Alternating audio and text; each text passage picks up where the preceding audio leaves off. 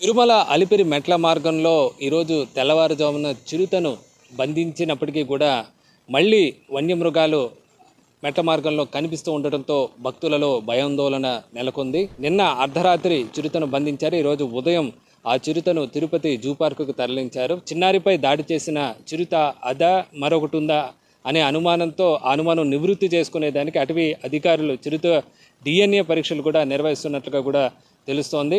అట చిన్నారికి రక్త నమూనాకు ఈ చిరుత సంబంధించి దానికి సంబంధించిన రక్తం ఆనవాళ్ళు కానీ మిగతా ఏమన్నా పరిశీలించి ఆ చిరుత కాదన్న దానిపైన నిర్ధారించే అవకాశం ఉంది. అలాగే అనంతరం ఆ చిరుతను దట్టమైన అటవీ ప్రాంతంలో సిబ్బంది వదిలే అవకాశం అయితే ఉంది. ఇక చిరుతను ఇటు బంధించారని కాస్త ఉపశమనం అయ్యేలోపే మరో చిరుత ఈరోజు అలిపిరి మెట్ల మార్గంలో భక్తులకు కనిపించింది. అలాగే రెండు వేల మెట్టు దగ్గర కూడా ఒక ఎలుగుబంటి కనిపించడంతో భక్తులు మరింతగా భయాందోళనకు గురైన పరిస్థితి అయితే ఉందని చెప్పచ్చు. ఇప్పటికే దాదాపు ఇరవై పైగా చిరుతలు భక్తులు నడిచే ఆ మెట్ల మార్గం పరిసరాల్లోనే తిరుగుతున్నాయన్న అనుమానాలు కూడా వ్యక్తం అవుతున్నాయి. దీంతో ప్రస్తుతం ఆ బోనులు అలాగే అటవీ శాఖ సిబ్బంది ఉంచడం జరిగింది. ఇంకా చిరుతలు పడతాయి బోన్లో చిక్కుతాయనే ఉద్దేశంతో ఆ బా బోన్లు అట్లే కొనసాగిస్తున్నారు.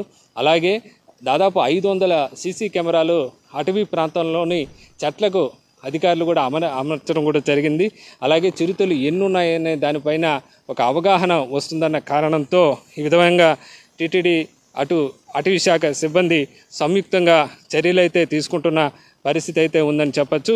ఒకవైపు చిరుత బంధించినప్పటికీ కూడా ఇంకా కూడా అటవీ మార్గం కావడంతో అలిపిరి మెట్ల దగ్గర అవే ఆంక్షలు అయితే కొనసాగుతున్నాయి.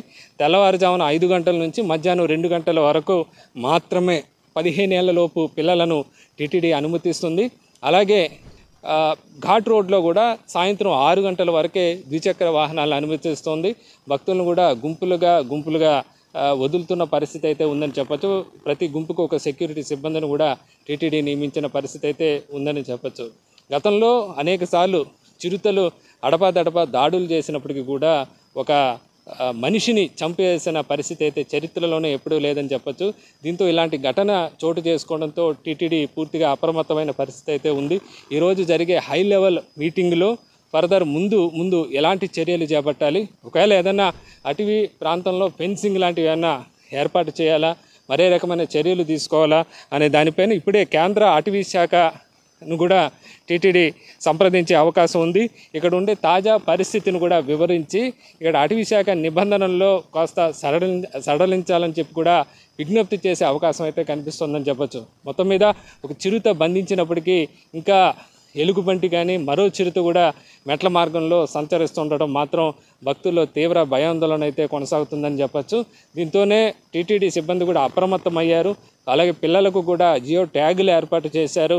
దగ్గరుండి సెక్యూరిటీ సిబ్బంది అనుక్షణం కూడా భక్తులకు ఎలాంటి ఇబ్బంది లేకుండా కూడా చర్యలు తీసుకుంటున్న పరిస్థితి ప్రస్తుతం తిరుమల కాలినడక మార్గాల్లో కనిపిస్తుందని చెప్పచ్చు. ఇది తిరుమలలో తాజా పరిస్థితి. కెమెరామెన్ రాజేష్తో వర్మ సుమన్ టీవీ తిరుమల.